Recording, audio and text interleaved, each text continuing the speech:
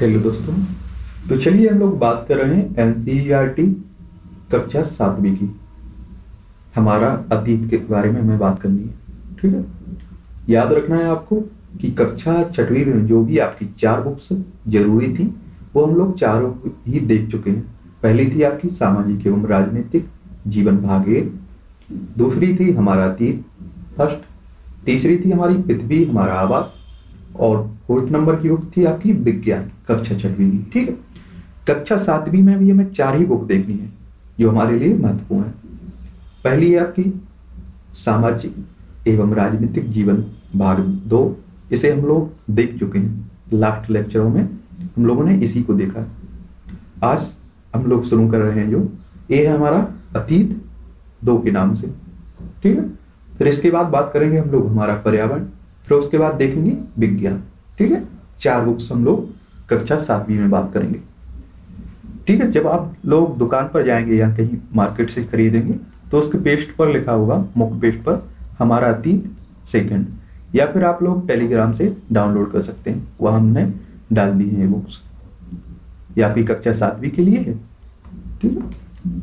और याद रखना, आपके जितने भी लेक्चर एनसीईआरटी से संबंधित बन रहे हैं, वो सभी एनसीईआरटी के नाम एनसीईआरटी पूर्ण कवरेज के नाम से जो आपकी प्ले लिस्ट सूची है, उसमें डाल दिए जाते हैं। ठीक है?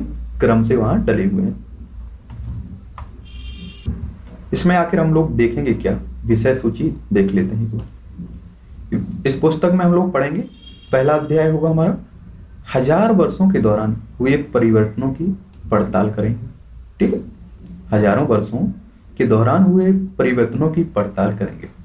दूसरे अध्याय में हम लोग नए राजा और उनकी राज्य देखेंगे।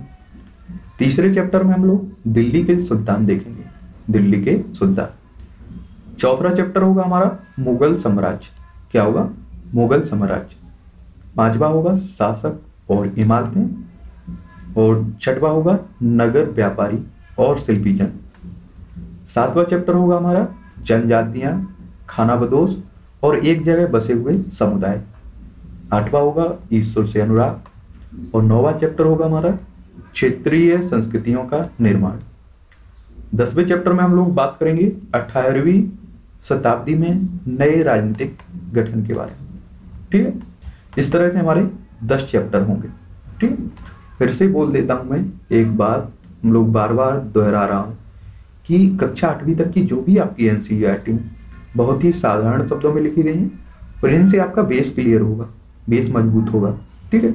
इसे एक दो बार आराम से सुनिए, बिल्कुल टेंशन फ्री होकर, आपको समझ में आ जाएगा। आप शुरू से अगर पढ़ना शुरू किए, तभी से टेंशन लेना शुरू कर दिए तो जितना समझ में आ भी रहा होगा, वो भी उड़ जाएगा। इसलिए अगर नहीं समझ में आ रहा है, फिर भी एक बार उसे आराम से सुनिए, फिर या फिर पढ़िए। बिल्कुल टेंशन मत लेकर पढ़िए पहली बार पहली बार एक बार नॉर्मल देख लीजिए। अपने आप मुझे लगता है नब्बे परसेंट तक आपके कॉन्सेप्ट क्लियर हो जाएँगे। ठीक है?